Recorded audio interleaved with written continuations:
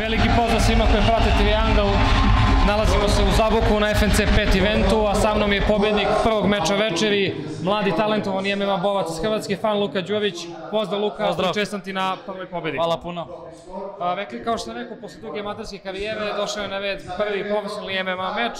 Stigao si do pobjede nad protivnikom iz Hrvatske u prvoj rundi. Kak, kakvi su svoj prvi utisci o profesionalnom MMA-u?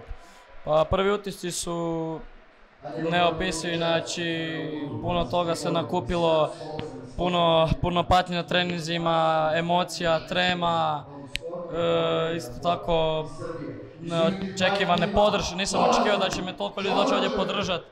Što se tiče prijatelja, obitelji, e, preko live, live streama na 24 sata nisam očekivao toliko ogromnu podršku i sve uglavnom neopisivo.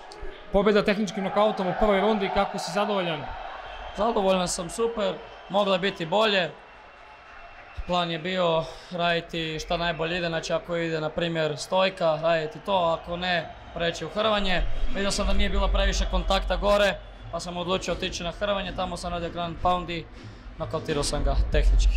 Šta je sljedeće za tebe, šta možemo očekivati? A sljedeće možda, možda FNC 6 u Šibeniku mislim, ili tako nešto, nisam siguran šta je, što oni imaju u planu i programu. Nadam se da će opet e, dijeliti ovaj oktagon.